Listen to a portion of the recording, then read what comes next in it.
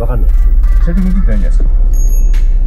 斉藤。君斉藤君真ん中いけます？今日このモブスタイルのポロシャツ意外に俺がでかすぎてこれ和田レフリーっぽくなっちゃったんで大丈夫ですか和田ワダレフリーっぽいって面白いですね。和田良覚和田両両角じゃないですね。両が角なんですよね。あ、そうなんですかそう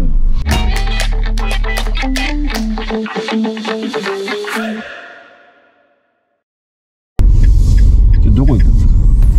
と阿寒湖畔にあかんこは。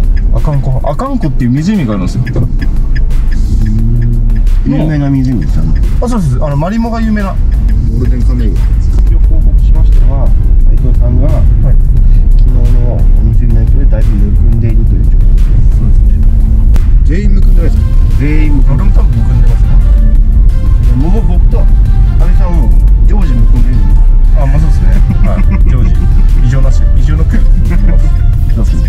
就職戦線異常です。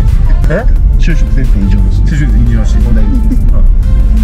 懐かしいです。ねそそのドラマタイトルが出てくるとは思いませんでしたこの辺またね明るい時は歩くと全然違う風に見えるな。ね全然雰囲気違うっすね。全く違いますね。全然違う。逆に行く良さ鹿とタヌキを見てないですからね。しかなニュースにもなってましたね。え？鹿結構出てて。ってうんそうなんですよ。注意してみたいな。うん。そうじゃあ鹿出るとこに今から行きますよ。お。鹿が出るんです鹿だねーっつって出ました、えー今日1回目の。はい。昨日のは農館ですから。え昨日、昨日から含めてですけど、言うのが普通なんですか？ああのまあ僕的には聞かないと僕も調子上がらないですよね。斎藤豊ギャグ。面白くなくたっていいんですよ。そうなんですよ。うん。斎藤豊は持ってきますから。面白くないギャグでも持ってきますから。おおごめんなさい僕の運転がいや、十分取れました。ありがとうございます。ありがとうございます。全く問題なく。じゃあそんな中すいません。音楽を勝手に変えてしまいました。南国っぽくしました。おお ちょっとそれだけやらせてください。すいません。あの、なんか沖縄編だけ音楽ちょっとそれっぽくして。んで、北海道も北海道っぽくちょっとしようかなって思ってます。各回ごとに。沖縄統一それでやっぱさだまさしっぽくなるんですかそうですね。純のテーマですね。あはい。てててててててんてん。てててててててんてん。ててんてん。ててんてん。ラウスにいるわけで2020。今はここに処理場で2020。って思うじゃないですかあの東京いやいやとかだって50キロってけどいやもうもう一回聞きますよ。どどんぐらいかかるんですか。えっと50キロぐらいですいやこれね北海道人からしたら「いや50キロうん近いじゃん」っていう感覚なんですよ。多分ね阿寒湖行く時に見えるかなその看板。イオンまで残り150キロっていう看板がね 北海道にちらほらあるんですよあれはやっぱあのむちゃくちゃだよ。東京とかから来た人はびっくりしたんですよ。えそんな看板いるみたいな。むちゃくちゃだよ。すげえでけえモスパーがあるはいすごいでかいよ。はい本当だすげえ広いでしょ。駐車場モスパーがでけえなドライブスルーなのに今お客さん2人ぐらいしかいないパイコツだパイコツだいや、快活クラブ好きすぎでしょ。開活クラブ。ああじゃあいいです快活クラブ、それも沖縄で行ってますからね。あへ沖縄の快活クラブ初めてありましたよ。ええな一緒に休むために？へそうそうそう。えいいんじゃないですか。え中野できたの？釧路に。い え、そんなびっくりやなかったっすよ。革命の。結構でかいいよや超革命かもしれない。はい。うわー帯広までしか来てなかったのに。昨日は何の話をして盛り上がったんでしたっけ？いろいろこう飛び飛びだから記憶が。はい。何回盛り上がってましたね斉藤さんのガーシー、ガーシー法がたくさん炸裂してるぐらいだから、斉藤さんのこのガーシー法が炸裂して、あの、安倍さんが少し泣きそうな顔をするっていう。流ショれがッキングショッキングだらけでしたからね 昨日のネタは。斉藤君がどんどんこう新しいネタを放り込んでくる。えそういえば何の話しましたっけ？っていうのが合図ですからね。あのネタ放り込む時の射撃用意と一緒ですからね。そしたら僕が毎回違うことを言って斉藤さんがその話を始めるっていう。ああそうそれなんですね。ってもうどんどん新しいねネタが放り込まれてくるから。おおえ？安倍逆もしこれコンテンツコンテンツああもうもう何回も言ういつでも裏飲み帰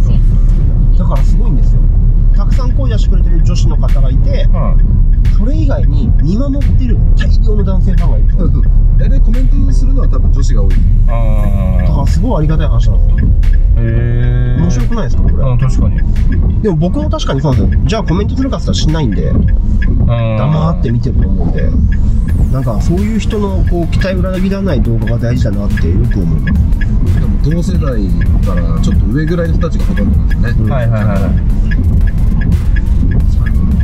だから今のアスカも響きますよ確かにそうですねあれいつもあれですよ楽しい大好きっつってうんドリカムちょっとカメラ決戦は金曜日ですよドリカムですね全部90年代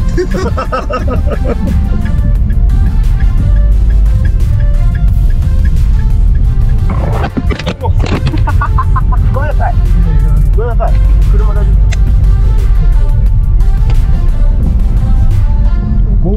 がこうやっぱ倒れな。いというか安全運転の証拠なんであそうそうすごいなさっきの俺多分あの信号の右折がねやっぱ遠心力でグッとかかっちゃう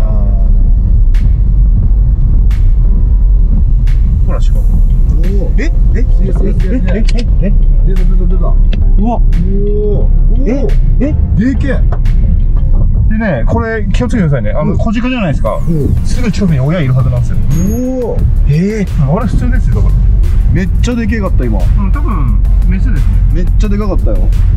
しかもピョーンって飛んでた。はい飛ぶんですよ。馬見ててザッザッするごいっすね。飛びながら行くんですげえ。すげえびっくりした。わこんな近くでで結構分かんなかったでしょ？かんなかったっす。偽装されちゃって。こういうで俺なんかすぐピクってなんか動いたなと思ってはい撮ってました撮ってましたあこっちですほらほらほらやば 斉藤君と鎌田さんの反応が俺一番喜んじゃう。すげえ喜んでんじゃんみたいなりした。本物の鹿だと思ったはい。エビシカです。あれで鹿。あれでちっちゃい鹿な全然ちっちゃいですよあれ。マジ？結構しっかりしてるはいでああいうやっぱ個人あれよりもっとちっちゃいのだとしたらあれはもうだったら成人してると思っててはい。もっとちっちゃい小鹿いたらすぐ車動かさない方がいいです親絶対追っかけてくるああなるほど。しじゃあ大きい親鹿がバーッと通ったら絶対後ろに子供くっついてくるはずなんですぐ車出発させない方がいいんですよ。だからある程度止まって安全確認して発車した方がいい。勉強になりますもうもうなかなかない経験じゃないですか。ないっすよ。はい俺も今一頭見たけどちょっと安心したもんね。やっぱ鹿いるよね。え あれで小鹿なんですか？全然子子供っていうかまああれですか人間で言うとまあ高校生ぐらいじゃないですか。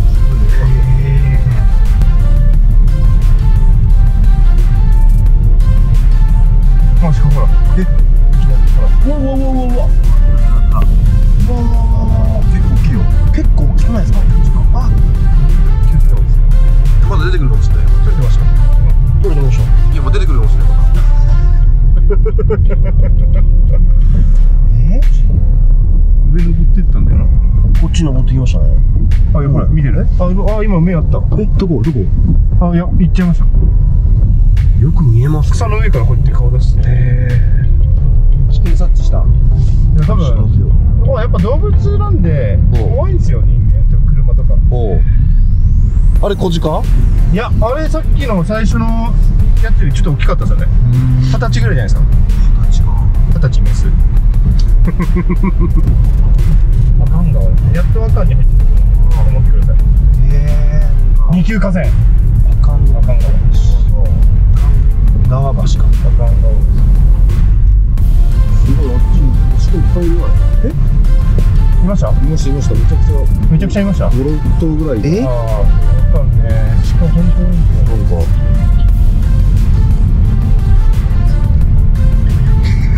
すげえ目やってるすげえ目やってるすげえ目やってるすげえ目やってるいや、意図はないんです。意図はないんですよ。見てる？見てる。を見て。鹿見て、鹿見て、鹿、鹿見てください。鹿。あ、隠れそう。もう少しか、あ、もうもう少し、もう少し隠れそう。あ、隠れた、隠れた、隠れた、隠れた。めっちゃいる、やべえ。おおおお渡ってくんねよ、渡ってくんねよ。もうもうもうも走ってくんねよ。あ、なんで呼んだんすか？社長君多分他に10人いたらおかしい人に思われる。そんな鹿に叫ぶ人俺初めて見たんだけど。ああめっちゃ今そうだよ。わーわーみたいな。ピクピク怖っ。なんで呼んだんすか？これ画像にしといてくださいよ。めっちゃいるこの時間。何？どこ？あ、もう本当だ、あそこにもいる。えそ時間。全然見てねえよ 怖っこの時間めっちゃいるやん。気をつけてくださいね。え一言だし。えすごいんですね今のこの際気をつけてくださいね。やっぱ時間帯があるんだな 100%以上もう一言なんそれザジー入っちゃうなんそれお、着きました？はい。長らくうお待たせしまわした。お待たせしすぎたのかもしれません。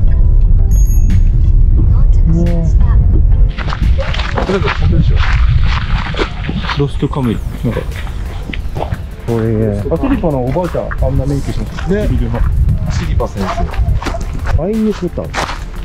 アイヌコタンって、アイヌコタンっていうのは村って意味なんですよ。アイヌコタン。すごいすごいすごい。リアルで。すげえ、アイヌコタン。アイヌコタン。アイヌ、あと、アイヌ生活すごいよ、これ。村だよ。なんかな、多分ここが、アイヌ、このアイヌコタンの、なんか看板っていうか、代表的な。なんかね、黒。すごい。もう、普段張り切って取らなくていいですよ。フランクにフランクに。そうっすね。うん。この歌なんですかこのアイヌのアイヌ民族の歌で、このなんかすごい聞いたことない音も楽器があるんですよ。そのアイヌ民族が村のみんなで集まって弾く楽器があって。だからこれあんまり聞いたことない音色じゃないですか、はい。うん、独特なんですよ。すごい。なこんな世界が広がってたと。雑貨屋さんなこれ。だからあのアイヌの人ってこういう木切って、ああいうああいう木を売るんですよね。その彫刻っていうんですか。彫刻ね。うん、アイヌ民族の人は手手作業なんですよ全部。アイヌ料理って何なのおなんだろう江戸近。ね。うわすごい。さっきのサマヨですピザもあるここもかっこいいからおおすげえ。こんでけえ鳥すげえ。よ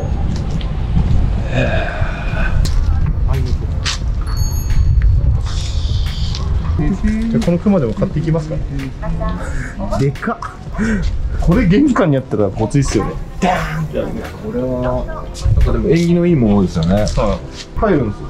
鳥もっこりだはい、こそうちょっとマリモのお食事って餌もあって。ええマリモ機内持ち込み OK だって確かに持ってっていいか分かんないですもんね。水水は水道水で OK 水は1週間に1度くらい。弱い時に取り替えてあげてください。生きてますからね。マリモ。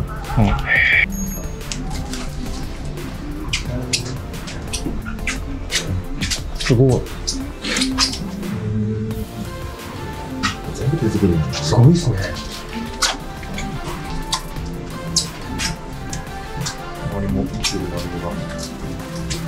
これが生きてる。生きてるか死んでるかもわかんないけど。こ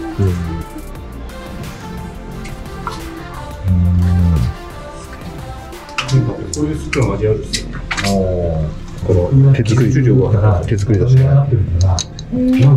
細ですよね。これやるとあこれ手作りすごいな。爪楊枝入れ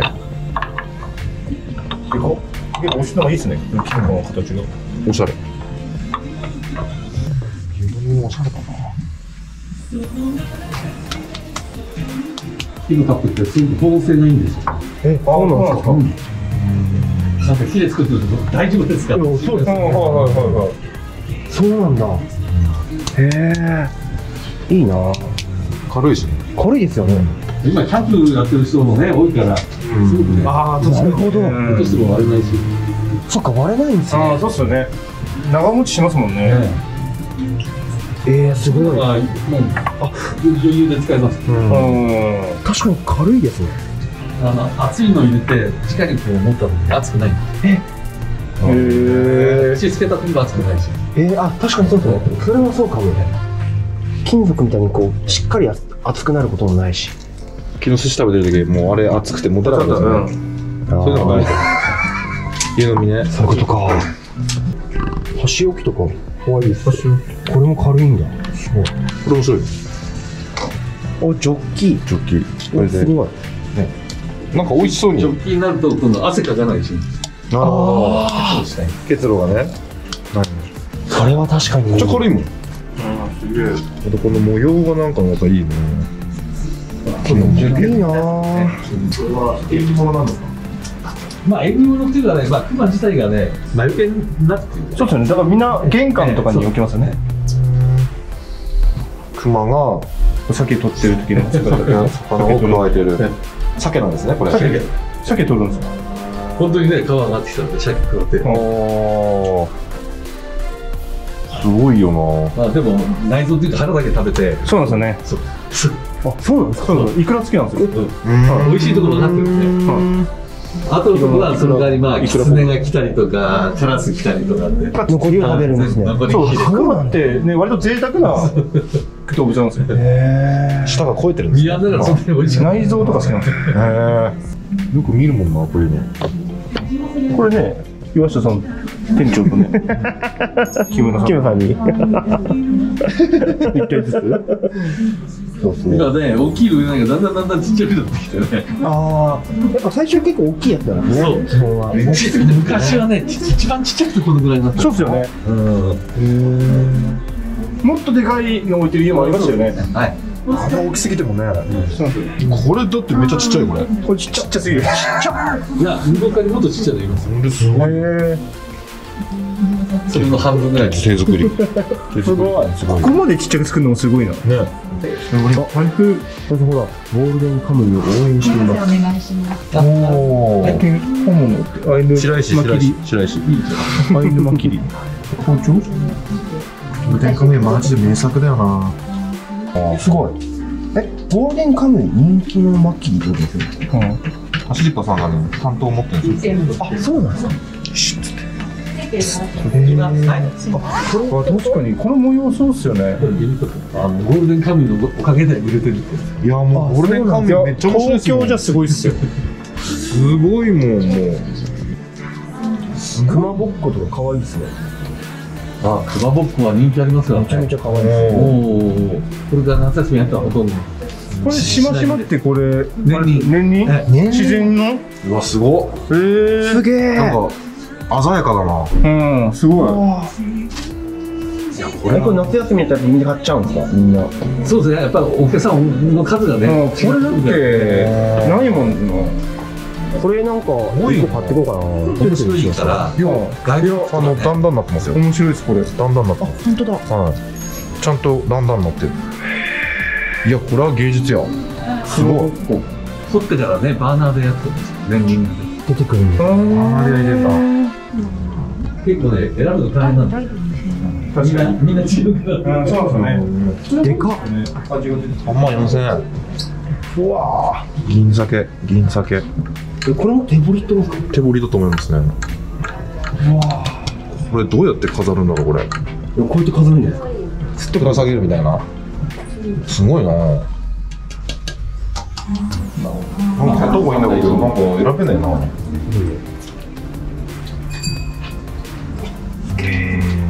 のコロボックルもね私もコロポックル有名なんだろうなコロボックルまあ、幸運を呼ぶっていうのは縁起物としてはすごくいいっすよね。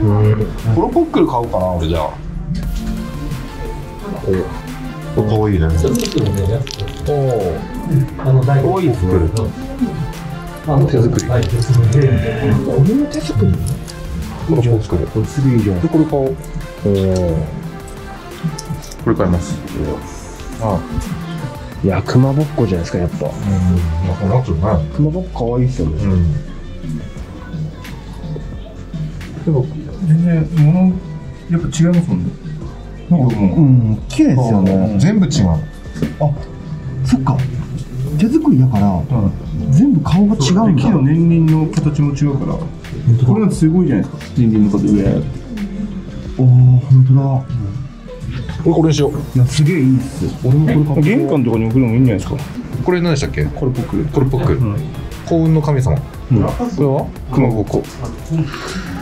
これも幸運の神様。フルボッコみたいな言い方してないから飯出るのってそこ左出てればすぐもうそこ温泉街なんで飯屋も多いんですよ。ラーメン。ラーメン屋も多いし行ってみます？行ってみます。お、本当だ。あれ鶴があってえー、っと結構阿寒湖畔内でも結構いいホテルラーメンってそうそう。そうそう。KCB やっぱりそういうことなんですよね。時代はそういうことなんだろうな。アマチュアボクシングああ韓国ですおお行きますすげえなんかカレーカレーの匂いしてカレーってるかもしれないカレーカレー食いてえなあの釧路はインディアンカレーっていうココイチが勝てないカレーがある。へえインディアンカレー。食ってみたい。なんかねなんかココイチとかのカレーじゃないですよ。べ全く別物のなんかドライカレーみたいな？あれゴーゴーカレー食ったことあります？一回だけあります。ゴーゴーカレーとココイチの間の味、ああ、なるほど。うん、色も。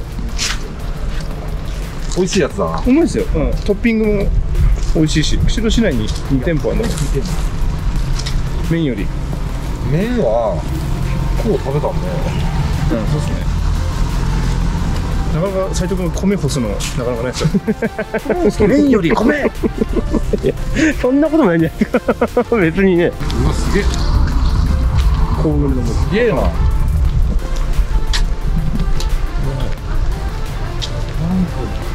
うわでかっ。冷夏あ観光船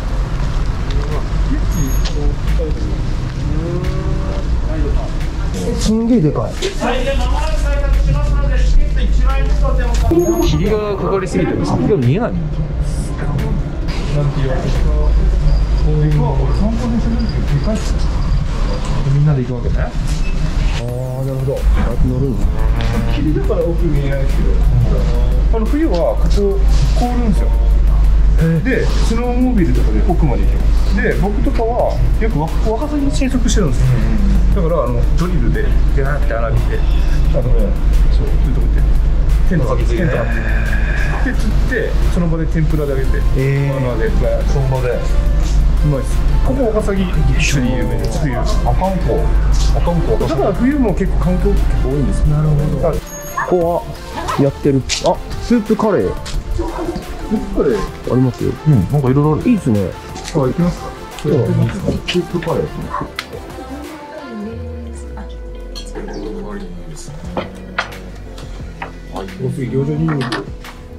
すごいですね。香りがすごいっすね。うん、ニンニクのすごい餃子ニンニクの。ああ。すごい栄養あるんですよ。いただきます。パンさん食べてください。食べ食べます